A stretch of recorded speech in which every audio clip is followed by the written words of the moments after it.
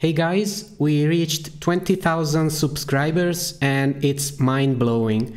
Uh, all I wanted to do was to document my Comfy UI extensions, but uh, I found myself doing all sort of tutorials and uh, you've been incredibly supportive, so I kept going. Since this is a kind of turning point, uh, in today's video I want to hit pause on the tutorials and talk about generative AI, ethics, and art. So, first of all, who am I? Well, hello everyone, my name is Matteo and I am a generative AI addict. I was born and raised in Florence, Italy, and that is also where I studied uh, graphic design and photography. Yeah, I'm not an engineer, but I've always been a nerd, so I ended up working in IT. The moment I've seen that I could merge my artistic background with my passion for coding, I jumped right into it. And so I started studying Automatic 1111, diffusers, and Comfy UI. I'm fascinated by the technology, the way some random noise can generate fantastic images uh, still amazes me. I just like watching a mathematical formula turn into art. Okay, but is this really art? Spoiler alert, no it's not, in the same way that Photoshop is not art or a paintbrush is not art. They are just tools, but uh, I understand that it's more complicated than that. Technically, a person without any artistic skill can generate wonderful imagery uh, with just a text prompt. But still, it's not art.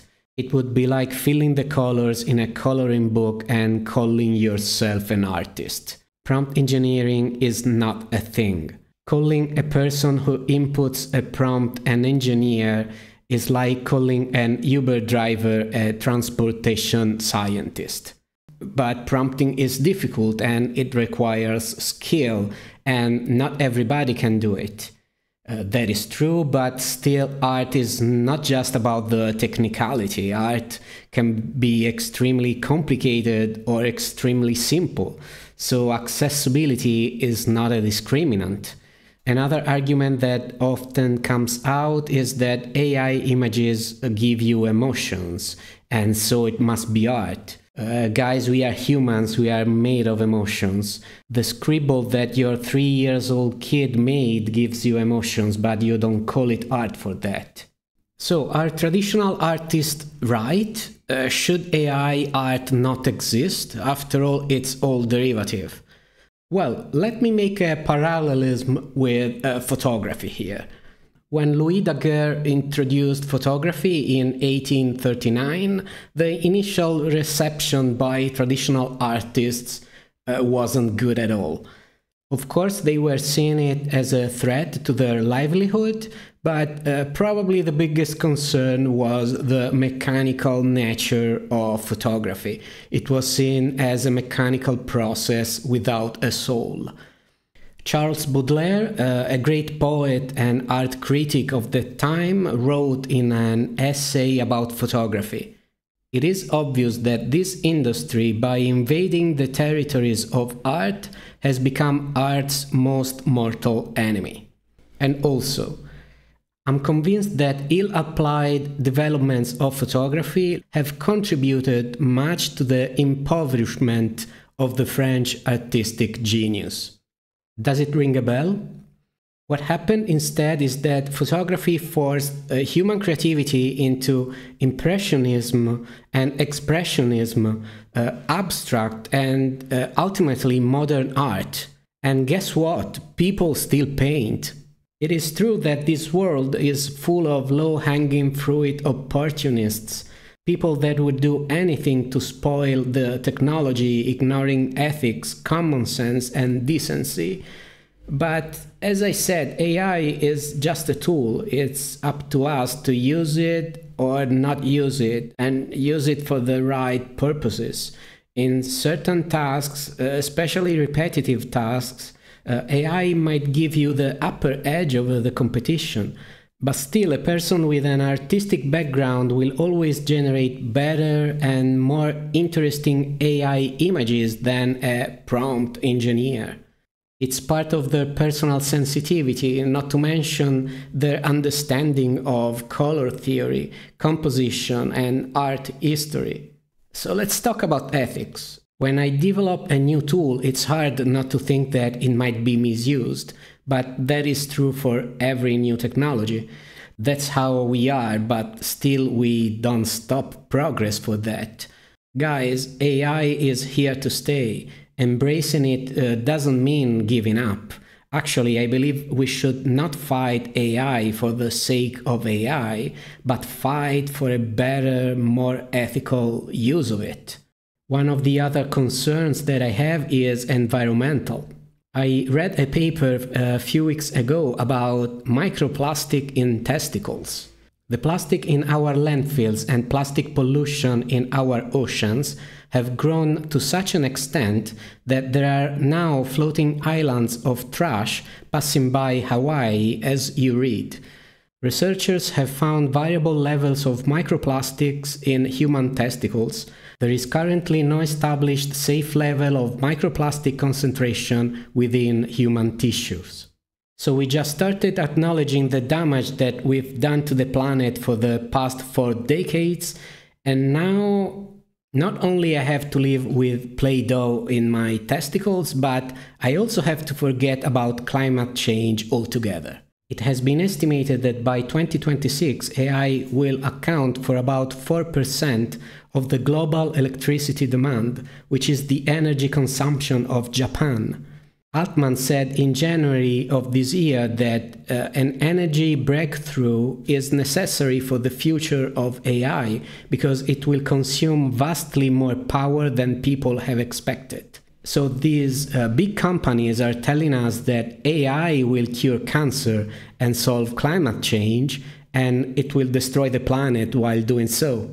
Of course, I'm exaggerating, but uh, we need to reward companies that have some kind of ethics one of those companies is, to my surprise, Hugging Face. I've watched a TED talk by Sasha Luccioni, who is an engineer at Hugging Face, and their vision and ethics are quite unique in this market.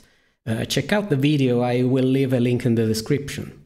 So yeah, next time you fire up a pony model to generate your next anime waifu or husbando, uh, think how much it is gonna cost.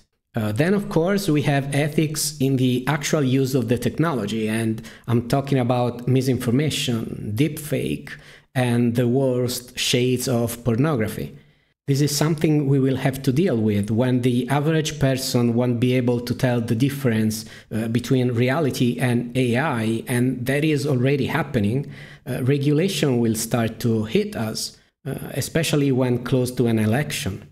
Free models might become scarce as fewer people will be willing to take liability, and only the big corporations will be able to work through the regulations. And don't forget that uh, to train these models, uh, you need a lot of compute power. So there's also a technological gap that an individual uh, won't be able to fill. A simple example, as of today, there are no good enough open face models uh, that we can use for character consistency. The only way is to train a LoRA or rely on a third party service uh, that is actually able to pay for the InsightFace incredibly expensive license. Of course, there will be always a very active and creative community working on open source stuff but uh, the divide might become so wide uh, that at some point open models will be obsolete or difficult to find, or simply nobody will really care anymore. When AI will be ubiquitous and fully accessible through your phone, few will care about installing Comfy UI. So is the future really so grim and what can we do about it? First of all, stop bitching every time a new model comes out because you don't like the license or it doesn't do good enough vaginas. Recently, they released the Mobius weights with a free license uh, if you do less than 100,000 USD per year. And people still complained about it. Uh, do you know how lucky we are that uh, we have access to it in the first place? Secondly, support the companies that support open source. Uh, Banodoco recently got a round of investment and they started sponsoring open source developers right away, including yours truly. Also, support companies that are open about their training methodology, uh, their ethics, and their environmental impact. Uh, Hugging Face seems to be one of them. Lastly, if you are a company, especially a small one, uh, using open source tool, give back to the community. It doesn't need to be money, but I bet you have smart engineers working for you and uh, they could give a couple of hours to improve the code, add functionalities, or even just talk about how things could be done better. It is in your own interest to have a thriving open source ecosystem you can grab from. But what I noticed is that it's everyone for themselves. Unfortunately, there seems to be very little collaboration. Okay, one last thing, uh, UI. At the moment, UI is the most powerful and versatile tool to interact with Stable Diffusion. You can argue that it's difficult to use, but it's the only pro tool that we have. There's a lot of talk about improving the interface lately, and I'm all for it, but I still think that we need to consolidate what we have and improve the server side. I know it's boring, but it's time to fix the long-standing annoying issues for the developers uh, before we can give a better interface to the users. Again, the only way to do that is to collaborate as developers.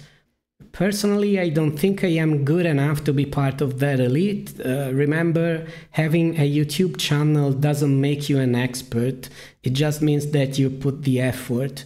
All I can do is to keep releasing open source tools and sharing what I know with you guys. Well, I hope this video was not too boring. I tried to keep it as short as possible. I would really like to know your opinion about uh, the topics I covered. And I don't say that just to trigger the YouTube algorithm. Uh, I'm sincerely interested in having a conversation about uh, the ethics of using AI. Okay, I guess it's all for today. See you next time. Ciao.